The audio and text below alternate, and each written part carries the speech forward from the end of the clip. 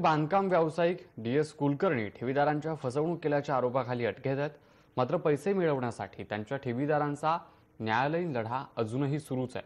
राज्यभरातील सुमारे अठरा ठेवीदारांचा गेल्या दोन वर्षांत विविध कारणांमुळे या दरम्यान मृत्यू झालाय.